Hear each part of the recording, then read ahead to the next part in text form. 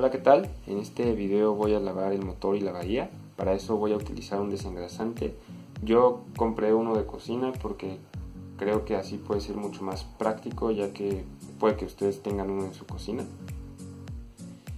También vamos a utilizar agua y cepillos para tallar.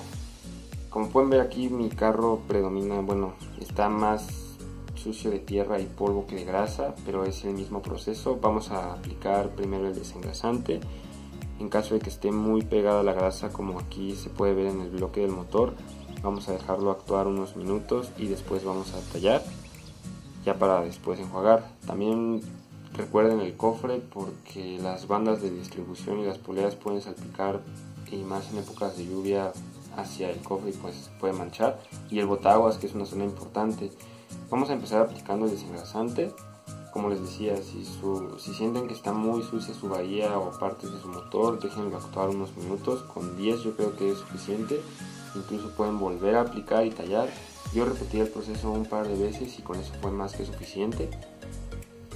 Cuando apliquen el desengrasante traten de, traten de cuidar las conexiones y los cables, no queremos que vaya a fallar algo, entonces pongan mucha atención en donde lo ponen para que no vaya a ocurrir algún problema.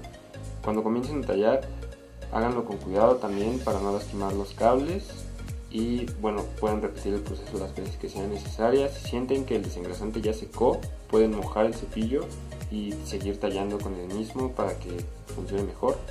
Yo enjuagué aquí con una Karcher, es impresión, esto fue nada más superficial para quitarle un poco de la grasa que ya le habíamos desprendido y volví a aplicar desengrasante lo dejé actuar esta vez unos minutos, también en el cofre y volví a enjuagar. Este es el resultado final, como pueden ver cambió mucho, no quedó al 100% limpio, pero como yo estoy trabajando en la bahía, con esto es suficiente. Si el video les gustó, den like, no olviden compartir y comentar.